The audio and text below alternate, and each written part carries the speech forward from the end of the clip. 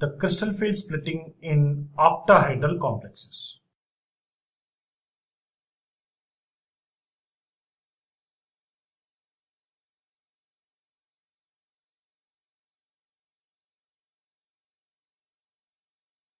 Before going for the octahedral splitting, let's see how the octahedral structure will look like. This is the octahedral structure. So the central, at the center, the metal atom will be there. The metal ion will be there. And to that, all these points are the ligands. The ligands will be in this way, they are arranged and at the center, the metal atom will be there. So in a cube, if you consider some of the, all these will approach through the axis, not through the, not through the corners of the cube. Try to draw the square here. When we draw a cube here,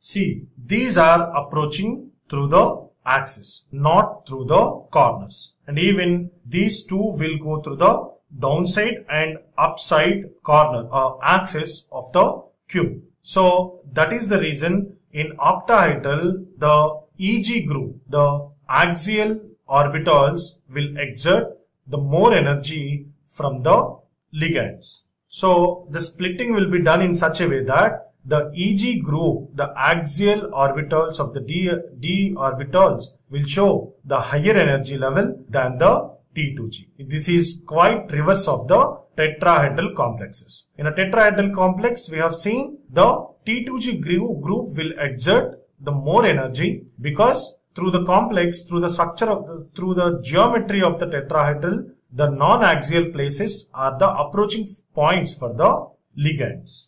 So here consider the d orbitals, the free state then the energy is increased the average energy of d orbitals in a spherical field. Then the splitting will be done in this way.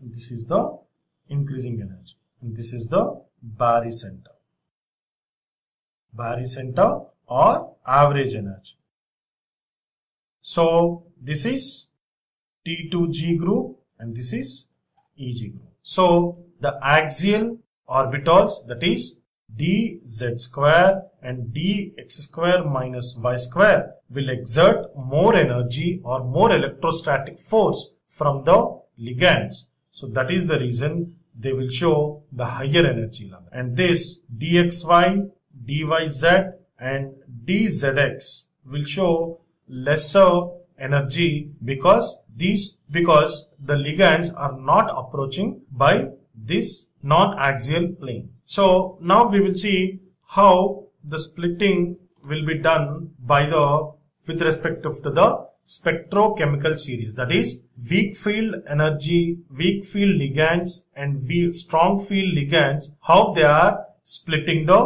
d orbitals we will see now. Okay.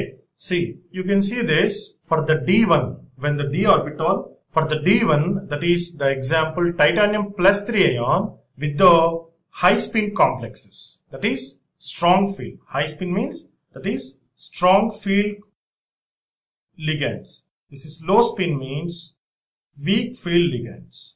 So the splitting will be done in octahedral in such a way that when titanium plus 3 is being taken, the T2G will be filled with the one electron. That is the energy associated, the crystal field stabilization energy associated with this particular electron is minus 2 by 5 delta. So here crystal field splitting, in this crystal field splitting, here the energy difference here it is 2 by 5 delta O and this is 3 by 5 delta O. The delta O means crystal field stabilization energy energy of octahedral complex.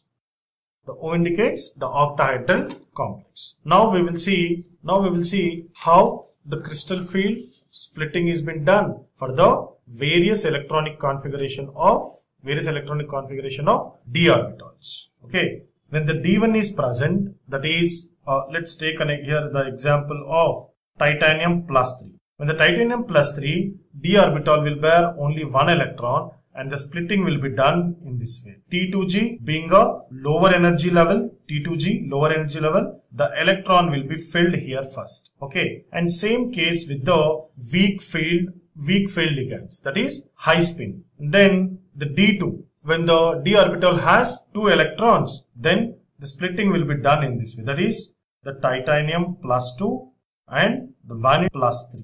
When these two are there, then the splitting will be done almost the same for the weak field and strong field ligands. And D3. With the D3, it is also the same and the examples here are vanadium plus 2 and chromium plus 3.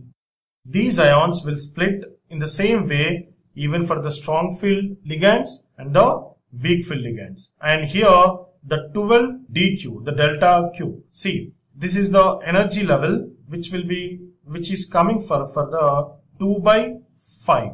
This is 4 by 5. Okay, 2 by 5 means it is 0.4.